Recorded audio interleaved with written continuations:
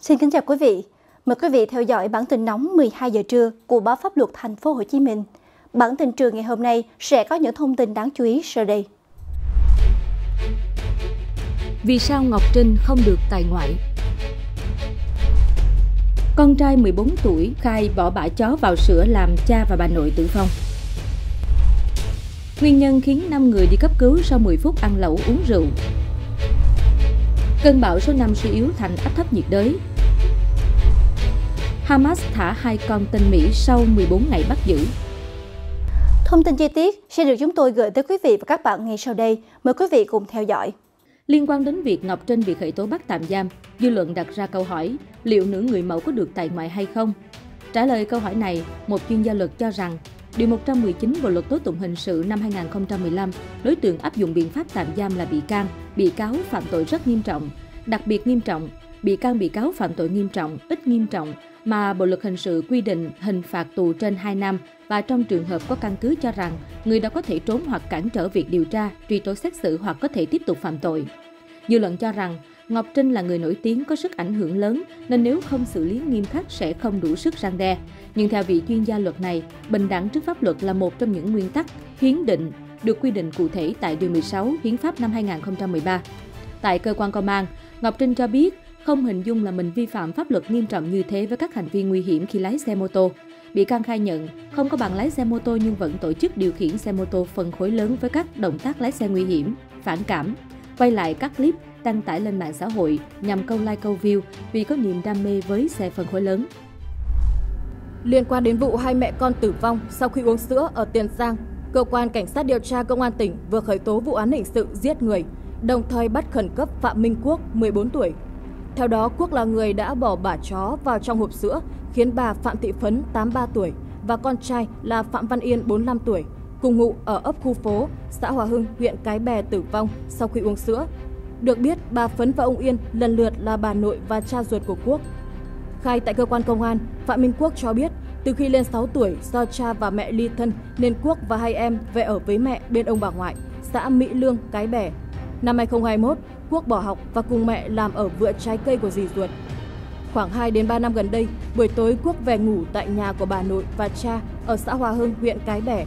Ông Yên là người thường xuyên uống rượu, nhiều lần Quốc kêu cha bỏ rượu và bị ông Yên la mắng, nên Quốc nảy sinh ý định xấu với ông Yên.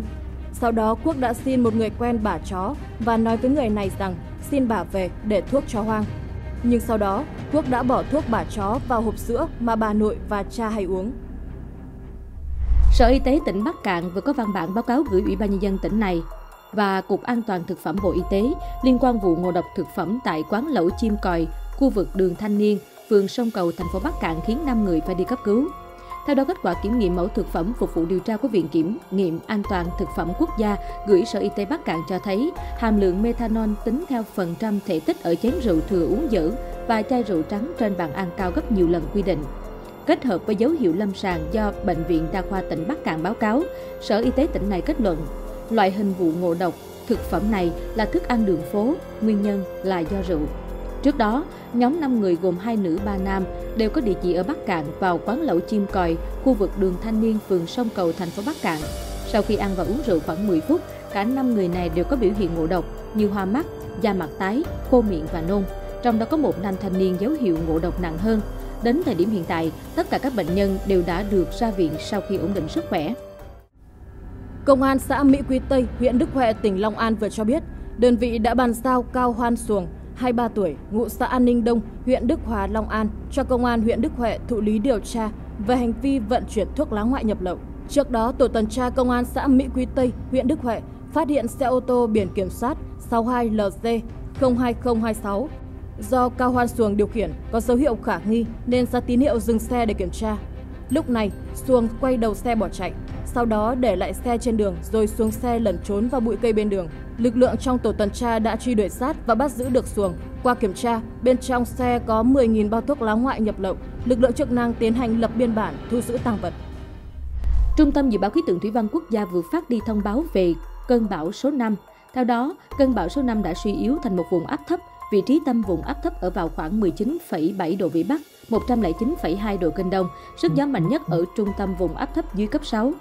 Dự báo trong những giờ tiếp theo, vùng áp thấp di chuyển chủ yếu theo hướng Tây Nam và tăng dần. Bên cạnh đó, Trung tâm Khí tượng Thủy văn Quốc gia cảnh báo do ảnh hưởng của không khí lạnh tăng cường nên trên khu vực Vịnh Bắc Bộ có duy trì gió Đông Bắc mạnh và sóng lớn, cần chú ý theo dõi trong các bản tin dự báo gió mạnh, sóng lớn trên biển. Theo đó, hôm nay 21 tháng 10, không khí lạnh đã ảnh hưởng lớn đến hầu hết phía Đông Bắc Bộ, một số nơi ở Bắc Trung Bộ và phía Tây Bắc Bộ.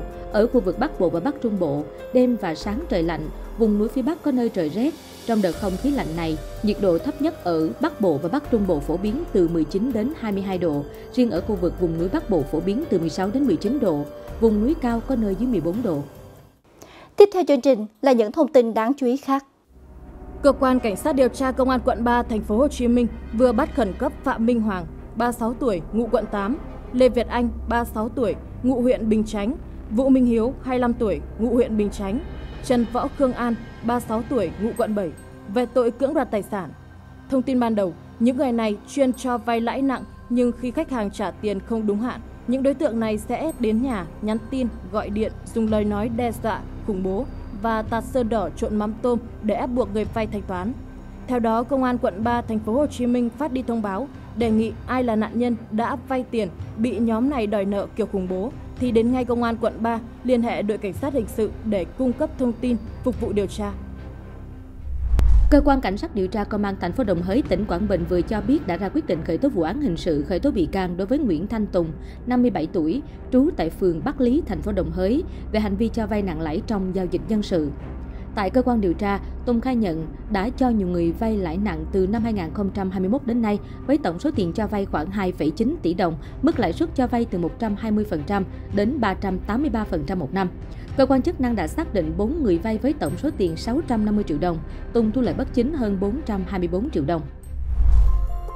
Công an xã Kiến Bình, huyện Tân Thạnh, tỉnh Long An cho biết vừa triệt phá thành công vụ trộm cắp xe máy liên tỉnh bắt giữ Trần Trường Sơn, 20 tuổi, ngụ xã Cam Nghĩa, huyện Cam Lộ, Quảng Trị và Lê Thanh Tâm, 39 tuổi, xã Tân Kiều, huyện Tháp 10, Đồng Tháp. Tại cơ quan điều tra, Sơn và Tâm khai nhận đã trộm xe gắn máy ông NTV, tên viết tắt 49 tuổi, xã Tân Lập, huyện Tân Thạnh, tỉnh Long An. Và trước đó hai người này cũng đã trộm một chiếc xe máy tại phường Bình Hưng Hòa, quận Bình Tân, thành phố Hồ Chí Minh sau khi hoàn tất hồ sơ, Công an xã Kiến Bình, huyện Tân Thạnh đã tiến hành bàn giao Sơn và Tâm cho Công an huyện Tân Thạnh tiếp tục điều tra xử lý theo thẩm quyền. Công an thành phố Biên Hòa, tỉnh Đồng Nai đang phối hợp cùng cơ quan chức năng làm rõ nguyên nhân vụ tai nạn trên đường Đồng Khởi, đoạn gần cây xăng 75, phường Tân Phong, thành phố Biên Hòa. Thông tin ban đầu, nam công nhân đi xe máy trên đường Đồng Khởi theo hướng từ huyện Vĩnh Cửu về thành phố Biên Hòa. Khi đến đoạn phường Tân Phong thì xảy ra va chạm với xe cẩu đi theo hướng cùng chiều. Cú va chạm khiến nam công nhân đi xe máy ngã xuống đường, bị xe tải cán qua người tử vong tại chỗ. Vụ tai nạn xảy ra vào thời điểm công nhân tăng ca khiến tuyến đường bị ùn ứ, phương tiện giao thông đi lại gặp nhiều khó khăn. Công an huyện Bến Lức, tỉnh Long An cho biết vừa ra quyết định khởi tố vụ án, khởi tố bị can, bắt tạm giam Nguyễn Hùng Vương, 26 tuổi, ngụ thị trấn Bến Lức, huyện Bến Lức về tội tổ chức sử dụng trái phép chất ma túy. Trước đó, lực lượng công an tiến hành kiểm tra tại căn nhà trong khu dân cư Hoàng Long thuộc khu phố 9 thị trấn Bến Lức, huyện Bến Lức. Tại đây, công an bắt quả tang Vương cùng 8 người, 5 nam 3 nữ đang tổ chức sử dụng trái phép chất ma túy. Tại hiện trường, công an thu giữ một đĩa xứ bên trên có chất bột màu trắng được xác định là ma túy, dụng cụ sử dụng ma túy và một túi ni lông chứa 0,6283 gam ma túy loại ketamin. Qua kiểm tra, nhóm người này đều dương tính với các chất ma túy. Tiếp theo chương trình là những thông tin quốc tế nổi bật được chúng tôi cập nhật đến 12 giờ trưa nay. Hãng tin Al Jazeera đưa tin, ông Ghazi Hamad, người phát ngôn của phong trào Hồi giáo Hamas vừa cho biết nhóm này đã thả hai con tin Mỹ như một cử chỉ thiện chí sau nỗ lực hòa giải của Qatar và các quốc gia thân thiện khác. Hai con tin này là hai mẹ con bà Judith Tai Ranan và bà Natalie Ranan.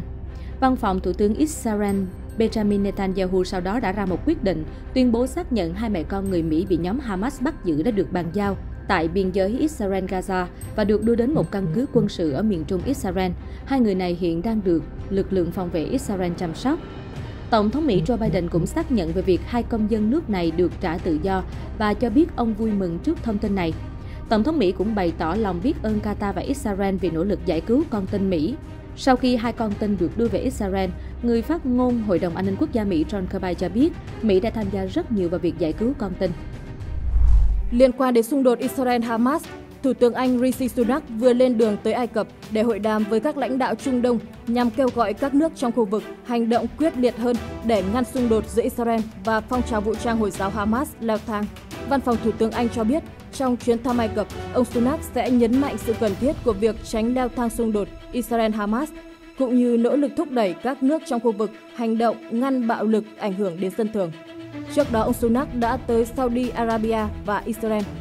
Trong cuộc gặp với Thái tử Saudi Arabia Mohammed bin Salman, ông Sunak kêu gọi nước này dùng ảnh hưởng trong khu vực kêu gọi các bên kiềm chế, đồng thời bày tỏ mối quan ngại rằng xung đột Israel-Hamas có thể lan rộng, gây mất an ninh tại Trung Đông. Trong cuộc gặp với Thủ tướng Israel Benjamin Netanyahu tại thành phố Jerusalem, ông Sunak khẳng định tiếp tục ủng hộ Israel, kêu gọi nước này đàm phán để bảo vệ con tin bị Hamas bắt giữ và cam kết thúc giục Ai Cập mở hành lang nhân đạo cho hàng cứu trợ vào Gaza càng sớm càng tốt. Bộ Ngoại giao Trung Quốc vừa đưa ra những chỉ trích liên quan đến báo cáo của Bộ Quốc phòng Mỹ về việc Trung Quốc có thể sẽ có hơn 1.000 đầu đạn vào năm 2030. Theo đó, Bắc Kinh đã cho rằng đây là một nhận định chứa đầy định kiến và bóp méo sự thật. Người phát ngôn Bộ Ngoại giao Trung Quốc, bà Mao Ninh nhấn mạnh rằng Trung Quốc kiên quyết tuân thủ chiến lược hạt nhân để tự vệ và phòng thủ và luôn luôn duy trì lực lượng hạt nhân của mình ở mức thấp cần thiết để đảm bảo an ninh quốc gia. Đồng thời, bà Mao Ninh cũng bày tỏ rằng Trung Quốc không có ý định tham gia chạy đua vũ trang hạt nhân với bất kỳ quốc gia nào. Quốc gia nào không sử dụng hoặc đe dọa sử dụng vũ khí hạt nhân chống lại Trung Quốc sẽ không bị vũ khí hạt nhân của Trung Quốc đe dọa. Theo hãng tin Reuters, dù số lượng vũ khí hạt nhân của Trung Quốc được cho là ngày càng tăng nhưng vẫn thấp hơn nhiều so với Nga và Mỹ. Mỹ có kho dự trữ khoảng 3.700 đầu đạn hạt nhân, trong đó có khoảng 1.419 đầu đạn hạt nhân chiến lược đã được triển khai. Nga có khoảng 1.550 vũ khí hạt nhân được triển khai và có kho dự trữ 4.489 đầu đạn hạt nhân. Thông tin từ tờ The Hill, khủng hoảng nội bộ Đảng Cộng Hòa tại Hạ viện Mỹ ngày càng nghiêm trọng khi Đảng Cộng Hòa rút tư cách ứng cử viên đại diện đảng ra tranh chức Chủ tịch Hạ viện đối với hạ nghị sĩ Jim Jordan, đồng minh cựu Tổng thống Mỹ Donald Trump sau khi ông tiếp tục thất bại trong vòng bỏ phiếu lần 3. Cụ thể, Hạ viện Mỹ tiến hành bỏ phiếu vòng thứ ba bầu ra lãnh đạo của cơ quan này. Tuy nhiên, không có ứng cử viên nào nhận được sự ủng hộ đa số cần thiết để trở thành Chủ tịch Hạ viện. Trong vòng bỏ phiếu thứ ba, ông Jordan chỉ nhận về 194 phiếu ủng hộ từ các hạ nghị sĩ Cộng hòa, giảm so với hai đợt bỏ phiếu trước. 25 hạ nghị sĩ Cộng hòa không bầu Jordan trong vòng bỏ phiếu lần 3 mà thay vào đó là ủng hộ những cái tên khác cho vị trí Chủ tịch Hạ viện. Cụ thể, hai phiếu ủng hộ cựu Chủ tịch Hạ viện Kevin McCarthy, 8 phiếu ủng hộ lãnh đạo phe Cộng hòa tại Hạ viện Steve Scalise, 6 phiếu cho quyền Chủ tịch Hạ viện Patrick McHenry và 9 phiếu ủng hộ một số hạ nghị sĩ Đảng Cộng hòa khác. Những thông tin vừa rồi cũng đã khép lại bản tin 12 giờ trưa. Quý vị đừng quên nhấn chuông theo dõi và đồng hành cùng chúng tôi ở tất cả các khung giờ để cập nhật những thông tin mới nhất. Xin chào và hẹn gặp lại!